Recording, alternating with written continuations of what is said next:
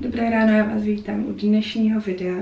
A chtěla bych vám ukázat i takhle, co dělám hned po ránu, potom co jím a takhle, jo. takže nebude to jenom, co jsem dnes jedla, bude to i trošku vlog. Jako první, vždycky ráno, ještě než se napiju. Uh, nám to tady nespadne na těch kachličkách.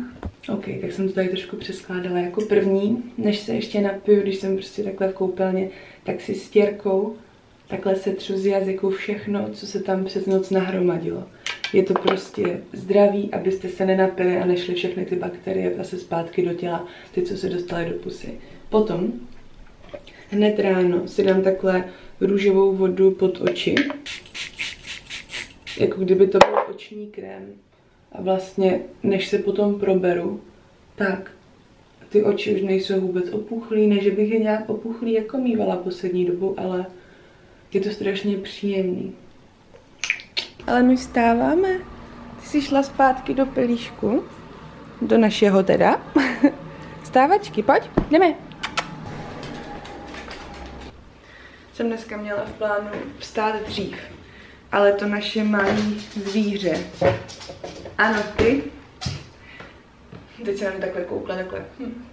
To naše malé zvíře se rozhodlo, že chce vstát brzo a chce jít ven, protože jsem šla včera docela brzo spát, takže to chápu. Ale tím pádem uh, se mi trošku narušily plány a vstala jsem asi o hodinku později, ale to nevadí. Teď si dám vodu s citronem.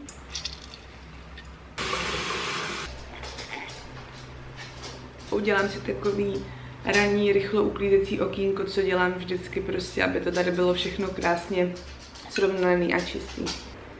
Power on. Connected.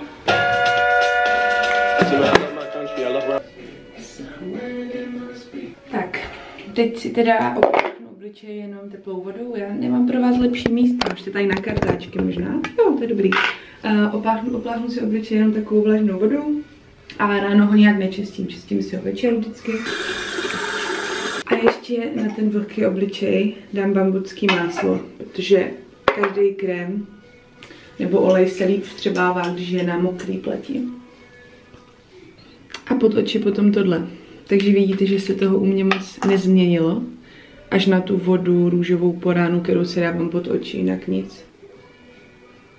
Teď ještě budu snídat, takže si nebudu ty zuby čistit úplně důkladně, ale dám si jenom takhle kokosák. Já teďka používám um, pastu a potom vždycky kokosák, protože on bělí ty zuby, ale prostě dám jenom kokosák. Potom kokosáku je v podstatě strašně příjemná chuť, já už to potom nevyplachuju, protože jsem si udělala to s tou stěrkou na jazyku, takže už není moc se vyplachovat a je to strašně příjemný. Teď si jdu udělat šťávu, mám tady totiž úžasnou zeleninu a ovoce, mám, no, teď řeknu jako mrkev a jabka, ale chtěla jsem říct úžasnou, protože je to z trhu. Byla jsem z trhu na IP Pavlova nebo na Tyláku a byly tam ochutnávky jablek a já jsem asi ještě lepší jabka neměla. Takže se strašně těším, až si udělám tu šťávu, protože bude nejsladší na světě. Kdy mám teda nachystáno všechno na šťávu, jsou to tři ta jablíčka, uh, tři mrkve, jedna taková střední okurka a kousek zázvoru.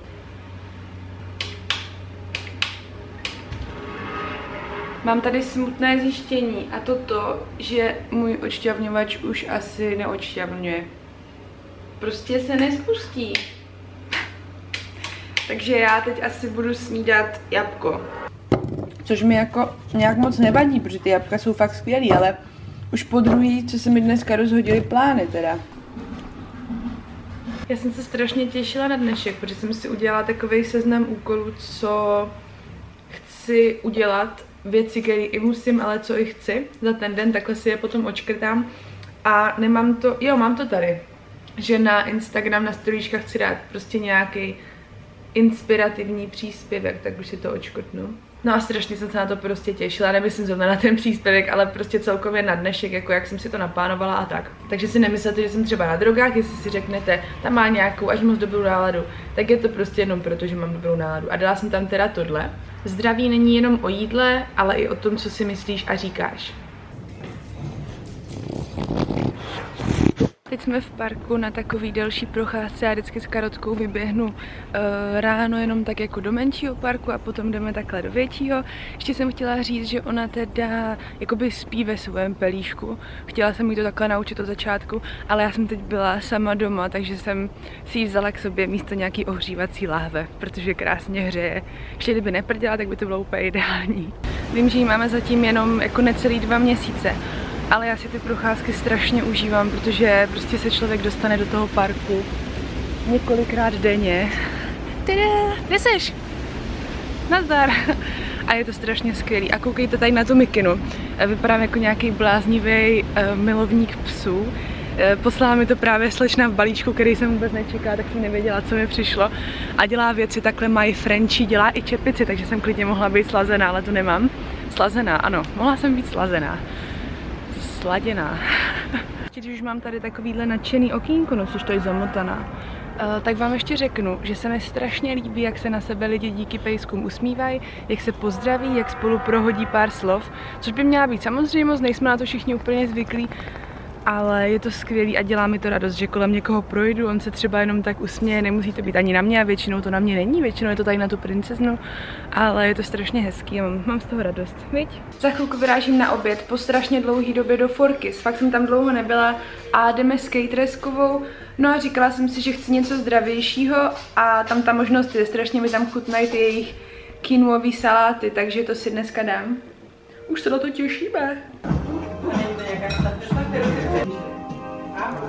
My už jsme po jídle, obě jsme se strašně nadspali.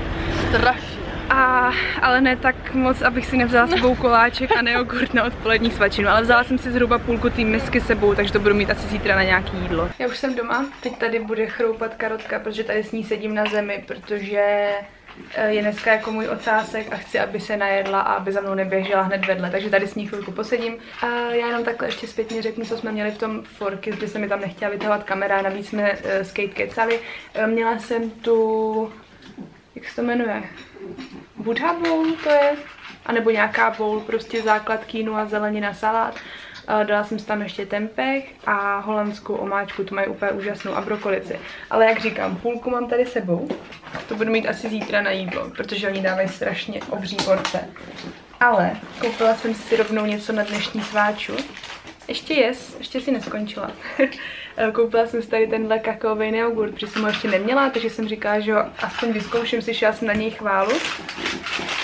A potom jsem si koupila takovejhle koláček, oni v tom Forkys občas mývají tady tyhle uh, koláčky, tady ten je zrovna podle mě jakoby s tvarohem a s meruňkama. Takže to bude dneska sváča.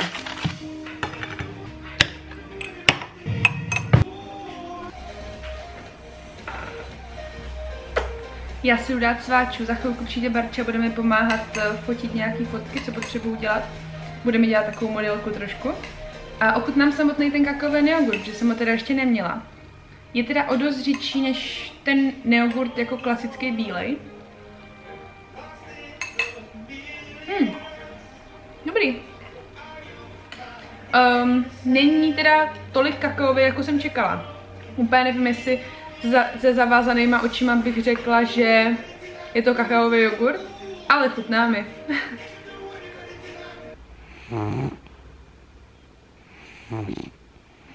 Takhle čekáme na Bajču, až přijde. Jo, karotka se těší.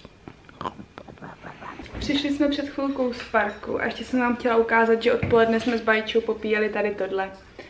Jestli neznáte, je to jako ledový kafe, co se prodávalo v Kauflandu asi za 15 korun.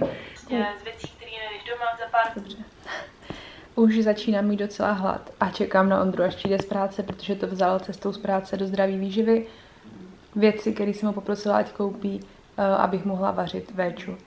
A ještě jsem poprosila o něco sladkého, protože mám strašný chutě dneska.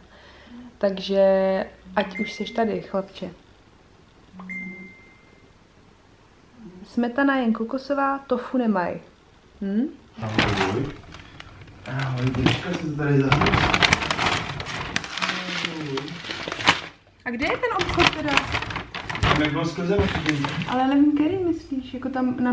Na Brusel, bruselská zastávka. Aha. Tramvaj a všude tam Já už dělám véču, zatím jsem si tady dala cibulku na tady tenhle kokosový olej, tady tenhle je zrovna bez vůně, z těch kokosáků je to ten nejvhodnější na vaření, když třeba nechcete právě jako já teď nechci jako třeba dělat kary, takže tam nechci tu kokosovou příchuť.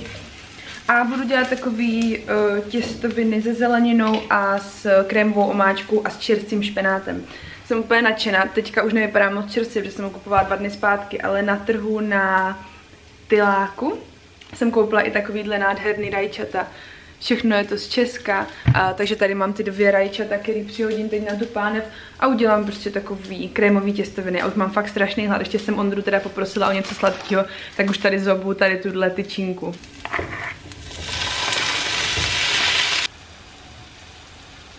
Těstoviny budou tady tyhle bezlepkový. Je tam jenom kukuřičná mouka a voda.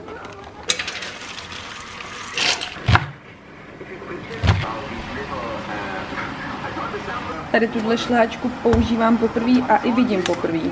Znáte někdo? Vypadá, že je docela řídká.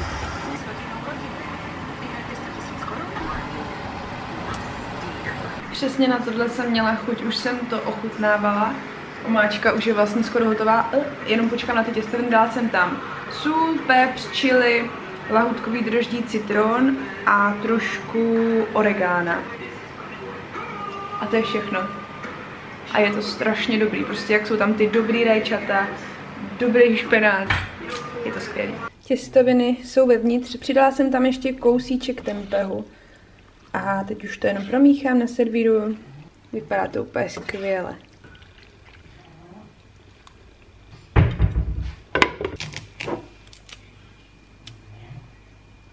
Tady jsou teda těstoviny s čerstvýma rajčátkama, s čerstvým špenátem, nahoře petržel, taky z trhu, všechno z trhu.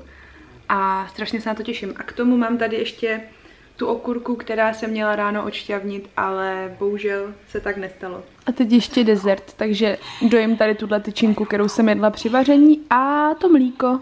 Teda nevypila jsem ho celý, ale ještě si dávám trošku toho mlíka. Když jsem to video začínala z koupelny, tak ho tady i ukončím a ukážu vám, jak se odličuju. Vždycky jsem se odličovala s, za pomocí těch vlčených ubrousků, ale přijde mi to jako hrozně zbytečný. Vyhazování těch ubrousků, zbytečná spotřeba, zbytečný chemikálie.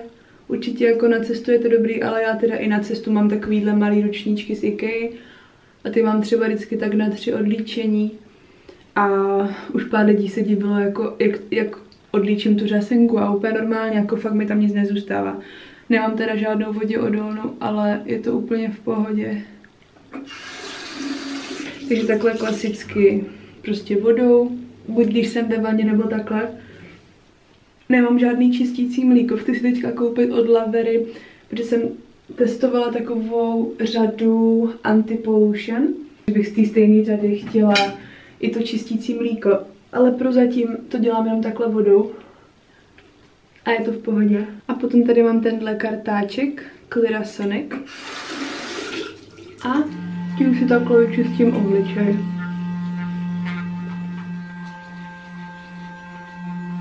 A je to takový každodenní peeling, protože když si udělám peeling, tak se mi potom prostě nedělají žádný pupínky. Nebo míň. Teď zase na ten vlhký obličej dám bambucký máslo.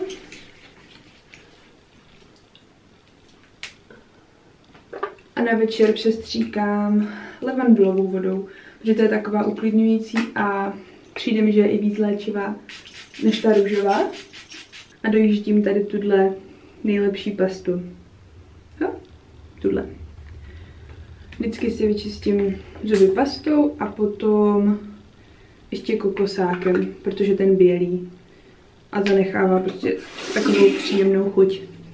Vy jste viděli, že jsem ukazovala ten bambusový kartáček, ale už ho zase nemám, protože mě z ní strašně bolely dásně a zuby. Byl na mě asi nějaký tvrdý. No a to už by bylo tady z toho dnešního videa všechno. Dejte mi vědět do komentářů, jak se vám líbilo. A já teď budu točit nějakých pár receptů, zase video do krabičky, takže na tohle se můžete těšit příště. No a mějte se moc hezky. Ciao.